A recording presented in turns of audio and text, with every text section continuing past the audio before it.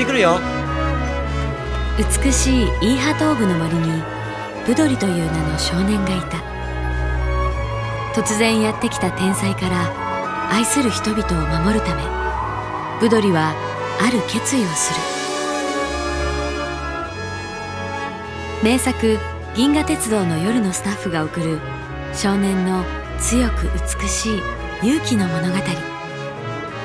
彼は未来を照らす。光になる。グスコーブドリの伝記。